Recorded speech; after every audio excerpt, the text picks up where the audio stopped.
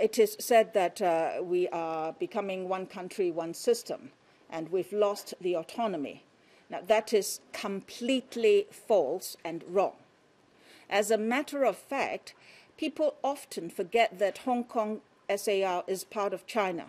We are one country, and without one country, there isn't any basis to talk about two systems. And therefore, insofar as the national security is concerned, as in any other country in the world, this is a matter that belongs to the central authorities, whether it is a unitary state or a federal state.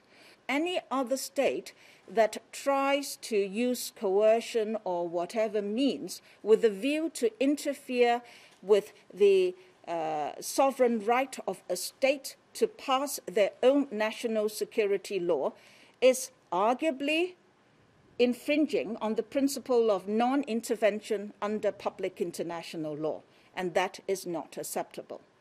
As to the uh, suggestion of uh, certain individuals or perhaps a, a, particular region being sanctioned as a result of uh, China uh, passing a national security law, uh, we step back and look at it in this way. National security is of prime importance to any sovereign state.